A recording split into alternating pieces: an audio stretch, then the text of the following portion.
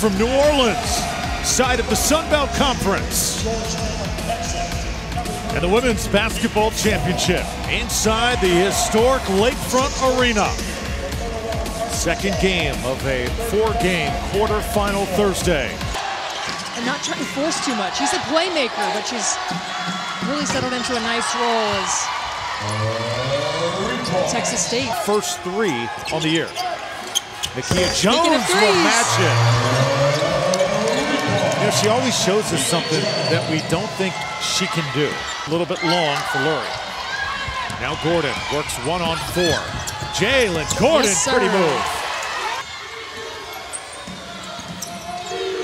Here's a long one. Woo! Levitt, three for three from three-point land. For Louisiana Lafayette. Here's Levitt again. Four of four from three-point land. Somebody cool her off. Not Lydia Corey took it. Simone Fields. Oh, what a pass by Nakia Jones. The play. Here's Levitt again. Six three-pointers. First, first half for the Bobcats. Levitt trying to shake free for another three. Here it is, and there we go. Seven threes in the first half for Tasha Levitt. Our staff just putting in tremendous work this Props. week here in New Orleans as Jasmine Thomas hits the three-pointer. Jalen Gordon, two on three. Gordon will pull up. It's good. Coach Caught on the baseline. Burton pulls up.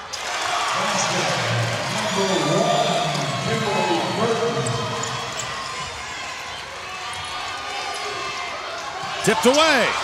Thomas underneath. We're tied at 46. that to the hole.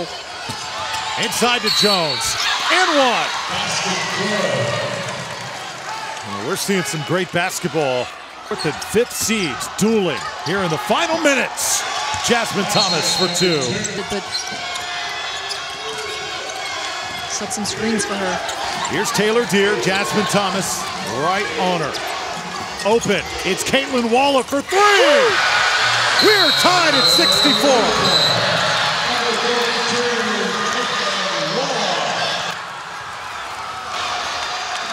Sometimes Tasha Levitt can be a decoy, draws so much defenders on the other side of the floor. Walla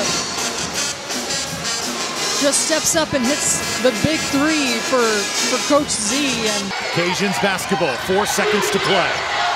Inside, Simone Fields on the block for the win. Point nine to play. Texas State can still inbound. Not to be. The Ragin' Cajuns win a thriller.